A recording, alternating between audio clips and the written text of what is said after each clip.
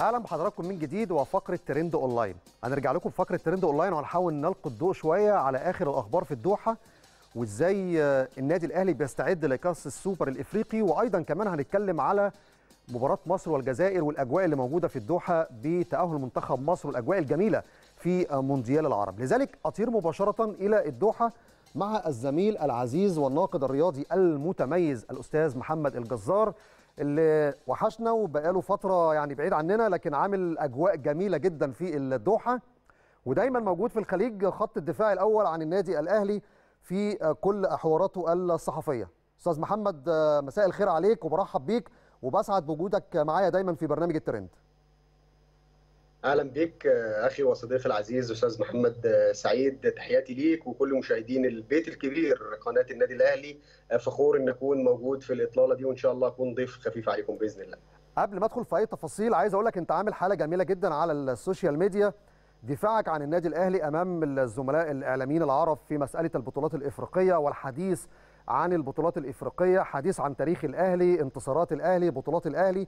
فده شيء شيء رائع جدا لأن كمان لما بترد وبتتكلم بتتكلم بوثائق وبتاريخ وبأرقام فده شيء بجد أحييك عليه لأن الجمهور لامس ده من خلالك من خلال ظهورك في الفترة الأخيرة. أشكرك جدا أستاذ محمد وده واجب علينا تجاه النادي الأهلي. النادي الأهلي علمنا دايما إن إحنا نرد بالحجة وبالأسانيد ودون أن نكيل الاتهامات للآخرين أو نسيء لأي طرف آخر. نحب الأهلي هذا لا يمنع ألا نحترم الآخرين بالتأكيد. أكيد طيب. أبدأ معاك بإيه؟ كأس الفيفا للعرب والمونديال اللي عامل حالة جميلة لكل الوطن العربي. ولا نتكلم عن كاس السوبر وانت عندك تفاصيل مهمة جدا بالنسبة لاستقبال الأهلي والتحضير للسوبر الإفريقي أمام الرجاء المغربي.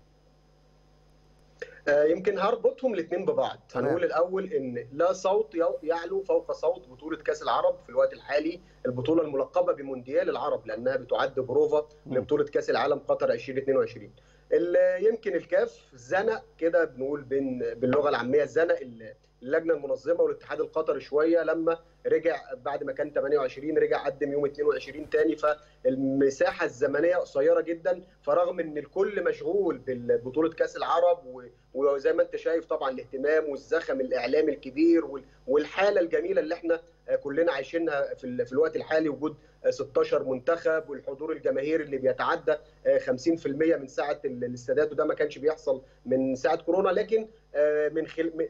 نهاية الأسبوع ده يعني بكرة بالكثير هتبدأ الاجتماعات وهتنطلق التجهيزات إن شاء الله للمباراة. زي ما أنت قلت أنا تابعت مقدمتك وكالعادة دايما الترند الحقيقة وأنت بالذات يا محمد في أخبار الكاف والاتحاد الأفريقي الحقيقة بنستقي أخبارنا منك ما شاء الله يعني. المباراة طبعا ما فيش أي أي كلام خالص إن المباراة تتأجل الكاف مصر لأنه خلاص زي ما بيقولوا كده عايز يخلص. المباراة اتأجلت أكتر من مرة. فحتى لو في كورونا الأمور ممكن توصل لدرجة إن الرجاء يجي على طيارة خاصة ويلعب المباراة. لكن أعتقد إن الأمور ما فيهاش أي محاولات أو أي ممكن ضغوط لتاجيل المباراة. خلاص المباراة 22 ديسمبر. النادي الأهلي بدأ ومجلس الإدارة والجهاز الفني والجهاز الاداري وكابتن سيد الكل الحقيقة عاملين اتصالات مع المسؤولين هنا في الدوحة وتجهيز من وقت مبكر جدا عشان إن شاء الله الاهلي يجي على خير وبإذن الله يرجع برضه على خير منصور وهو فايز بالكاس مع احترامنا طبعا وتقديرنا لنادي الرجاء لكن المنافسة بالتأكيد كل طرف يحب الفريق اللي بيشجعه يفوز. طيب نسبة يعني تغيير ملعب المباراة من ملعب جاسم بن حمد ملعب نادي السد إلى ملعب نادي الريان إحدى الملاعب المونديالية اللي بتستضيف كأس فيفا للعرب وأيضا كمان كأس العالم في ديسمبر العام القادم.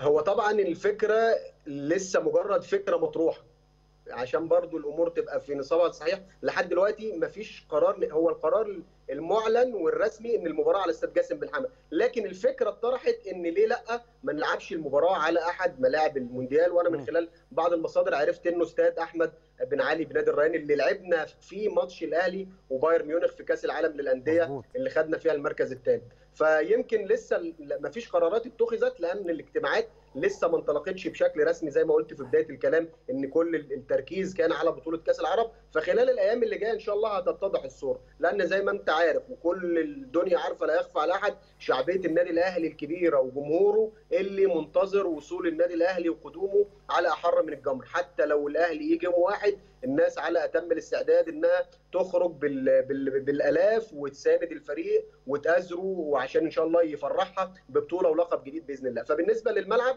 أعتقد خلال الساعات القليلة القادمة هتتضح الرؤية. لكن بالنسبة لقطر محمد مفيش مشكلة. عايز أي ملعب بيلعبوا عليه طالما مش مشغول مثلا بمباراة أو بطولة فالأمور الأمور طيبة جدا لأن عندهم خبرة كبيرة جدا في تنظيم الأحداث والبطولات الكبيرة وفي دايما سلاسة في دخول الجماهير وسلاسة في تنظيم المباريات فإن شاء الله تكون الحقيقة قمة مصرية مغربية بنكهة أفريقية إن شاء الله تخرج بأفضل صورة على الملاعب المونديالية. طيب في تفاصيل ثانية خاصة بالسوبر نخليها يعني لما نقرب شوية من ميعاد الماتش تيجي لنا تاني إن شاء الله ونتكلم على كأس السوبر، لكن عايز أرجع لكأس فيفا للعرب ولقاء الجزائر، وأنت امبارح كنت موجود في استاد نادي الوقرة، المشهد عظيم.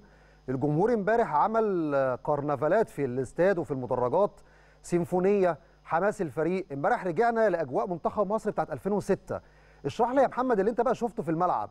اناشيد منتخب مصر أو اناشيد مصر امبارح اللي كانت بتشتغل في ال sound الداخلي داخل ملعب المباراة. الأجواء رد فعل كارلوس كيروش عقب المباراة ردود فعل الإعلام الجزائري وتصريحات مجيد بوقرة امبارح عقب نهاية المباراة. طبعا كل الناس شايفة وكل الناس لامسه الحالة اللي الجمهور عاملها وده لا يخفى على أحد طبعا. وعلى الجانب الآخر برضو إحنا لازم نقول الحالة اللي لعيبة المنتخب عاملينها.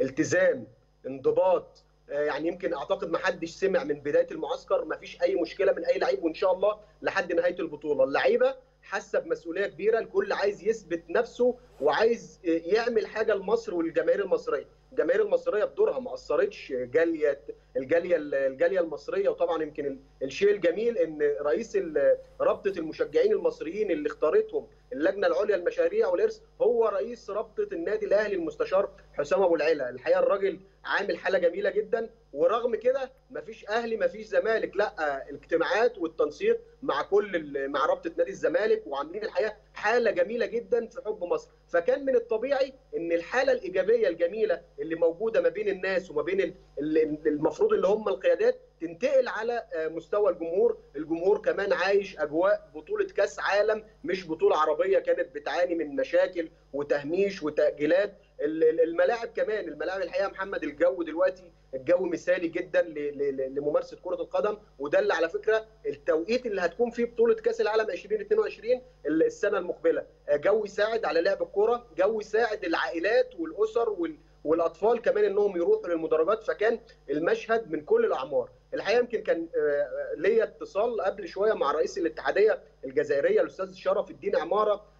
فبقول له يعني إيه أنت اللي أبرز حاجة لفتت انتباهك؟ قال أنا العلم المصري جنب العلم الجزائري والمصريين جنب الجزائريين في نفس المدرج ومفيش أي مشاكل مفيش أي أزمات.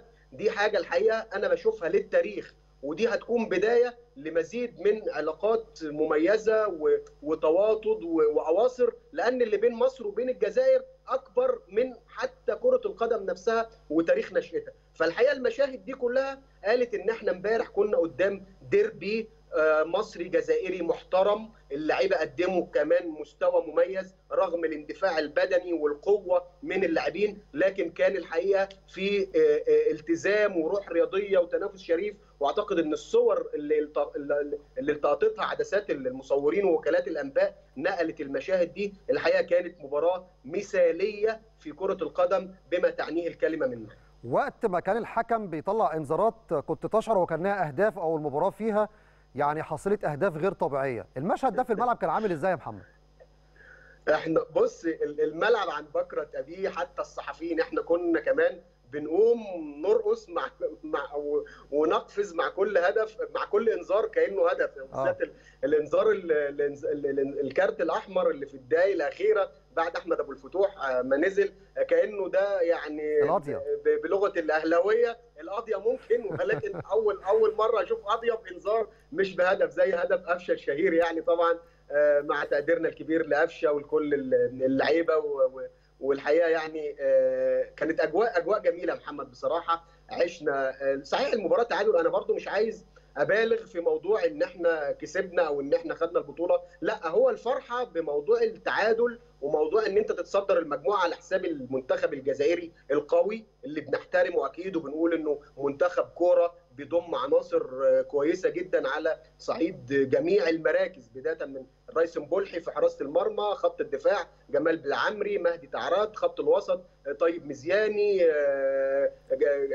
في الهجوم بغداد بنجاح ياسين إبراهيم ياسين إبراهيم اللي بيعيد اكتشاف نفسه مع المنتخب خلال البطولة يوسف بلايلي يعني مجموعة من اللعيبة كتيبة من النجوم رغم إن ده كمان مش المنتخب الأول. فأنت منتخب مصر اللي كان بيعاني في الفترة اللي فاتت وكان عنده أزمة ثقة وكانت الناس بدأت تبعد عن المنتخب وماتشات المنتخب. لا أقول لك من بطولة الدوحة الناس هترجع نفس الشغف تاني لتتابع مباريات المنتخب وتآزر وتساند منتخب مصر. وإن شاء الله بإذن الله. أنا شخصيا بقولها من خلالك أنا متفائل بمستر كيروش وبالمجموعة العناصر واللعيبة اللي موجودة. لا ما حدش يقول لي إن مصر ما فيهاش لعيبة كويسة ولا دورينا تعبان. لا عندنا مواهب وعندنا نجوم كبار في كل الأندية سواء بقى نادي في درجة ثانية ثالثه لو حتى تروح دوري الدوري الكومبارس في الدرجة الرابعة مراكز شباب. والله في لعيبة بتكون في مراكز شباب تلعب في دوري ممتاز. لكن أكيد. المهم الناس اللي تشتغل شغل صح فالحمد لله طبعا كانت أجواء حلوة فرحنا واتبسطنا.